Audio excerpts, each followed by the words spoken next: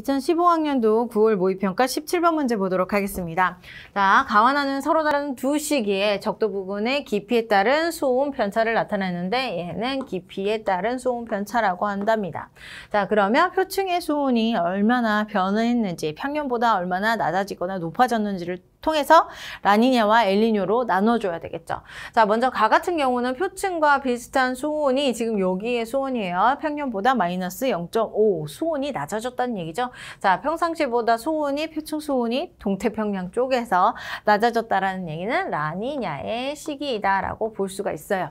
자, 그 다음에 가 같은 경우는 지금 동태평양 해역 쪽에 표층 표층에 있는 수온의 편차를 봤더니 얘네들이 지금 따뜻하답니다. 평년보다 따뜻 따뜻하다. 이 얘기는 수온이 올라갔기 때문에 엘니뇨의 현상이다라고 볼 수가 있겠네요.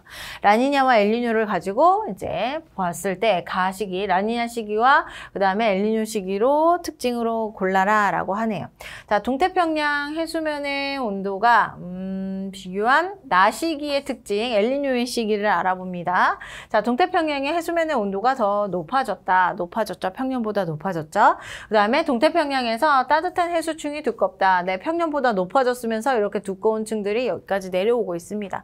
그렇기 때문에 맞는 말이 되겠고요. 동태평양과 서태평양의 표층 해수 수온차가 감소하였다. 자, 여기에는 마이너스 0, 뭐 1, 요런 사이의 차이 값을 나타내고 있는 반면에 여기에서는 마이너스 4, 이 정도로 크게 벌어졌기, 많이 벌어졌어요. 수온차가 많이 벌어졌어요. 그 얘기는 표층 수온차가 변화는 큰데, 변화는 큰데, 원래 엘리뇨 때 원래 평상시 때 서태평양은 좀 따뜻한 온도였는데 내려가고 엘리뇨 때 내려가고 그 다음에 이제 평상시에는 동태평양이 낮은 온도였는데 올라갔죠. 그럼 그 둘의 수온차는 작아지게 됐을 겁니다. 그래서 수온차는 엘리뇨 때 감소하였다 맞는 말이 되겠죠.